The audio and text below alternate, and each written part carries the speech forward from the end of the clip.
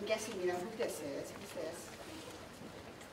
Barabbas, and this is Elizabeth, and this is Alligator, his name is Gator. And Polly, and Hannah, Potato, and Simon. The name of my story this morning is Let Your Light Shine. Gator has been working hard at fitting into his new life at the Heffelfingers home. He almost never jumps up on the dinner table anymore. And he remembers, when he is angry, to not show his razor-sharp teeth. They are very intimidating, so he tries to remember to close his mouth. And you might remember that the favorite snack food of alligators is lightly salted, slow roasted giraffe legs. Mm -hmm. And since Gator has left that bad place down by the river where he used to live, he has not had even one bite of a giraffe leg, especially now that he and Elizabeth are such good friends. And besides, Uncle Floyd is a good cook, and they have good, nutritious, balanced diet at home. However, even with all these changes in, in Gator's life and in his behavior, there are still some people who do not like him. This is what happened this morning in Sunday school class while the teacher was still out in the hallway. See her over there? You can tell that's not California this time because there's no palm tree. That's, that's the hallway before class started.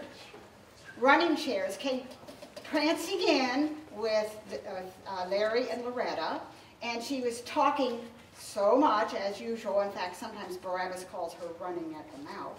But so she came in saying, like, you know, Larry and Loretta, like, you know, my mommy always tells me that I should not associate with, like, bad people because like you know then people will think that I'm bad too and that's like why I associate with you two because like well like your father is Pastor Ed and your mother is the Sunday school teacher like that means you're PK, pastor's kids, and you're really good. Yes, and so my mommy says I should associate with good people so people don't think that I'm bad. And I've learned all the important things in my life from my mommy, from my mommy. And running chair stopped just for a moment to inhale, and she glanced around to make sure everyone was noticing her. And She saw Gator. She narrowed her eyes. And then she saw that little giraffe who's visiting today, whose name is Tweeza, that has no legs, and she was sitting right next to Gator, and running chairs opened her eyes wide and said, oh my, like my mother would never approve. That poor little giraffe, her legs are gone. And like, you know, she is sitting next to the very perpetrator of the crime. Gator ate her legs, and she's so stupid she thinks they can still be friends. And now, of course, Gator did not eat Tweeza's legs. Gator wanted to bare his razor-sharp teeth at running chairs, but he didn't. And felt terrible that running chairs called her stupid. That's not a nice thing to call people. And Tweeza knows very well why she doesn't have legs, and it's not because of Gator. In fact, the whole classroom became very quiet. Everyone looked at running chairs, and nobody knew what to say. That is, until Barabbas spoke up.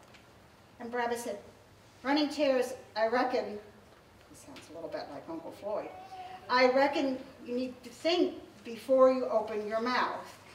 You've been unkind, and what you said is not true. You should apologize to Gator and Tweeza. The room all turned to Barabbas. Wow, Barabbas seemed like a light shining in a dark place. When Barabbas was a baby and he got baptized, the pastor said these words, Let your light shine before others so that they may see your good works and give glory to your Father in heaven. What Barabbas did was a good thing. He stood up for the truth. Jesus wants no less from us.